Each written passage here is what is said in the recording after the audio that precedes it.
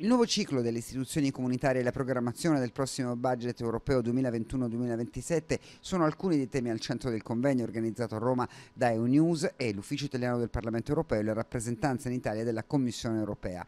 In linea con il prossimo ciclo di programmazione in Europa, il Fondo di perequazione infrastrutturale, punto centrale del provvedimento sulle autonomie. Intanto per far sì che le risorse possano essere vincolate al prossimo triennio sarà opportuno valutare se inserire eh, l'emendamento sul fondo di perequazione infrastrutturale in questa manovra. E con Provenzano stiamo lavorando per far sì che ci siano risorse più mirate alla lotta per le diseguaglianze. Sul rischio di tagli alle politiche di coesione invece si è soffermato il Ministro per il Sud. Il piano per il Sud servirà a questo, non solo a fare più investimenti al Sud ma soprattutto migliorarne la loro efficacia e la capacità di metterli a terra, di farli arrivare direttamente nei territori anche in un nuovo rapporto, in un nuovo coinvolgimento degli enti locali.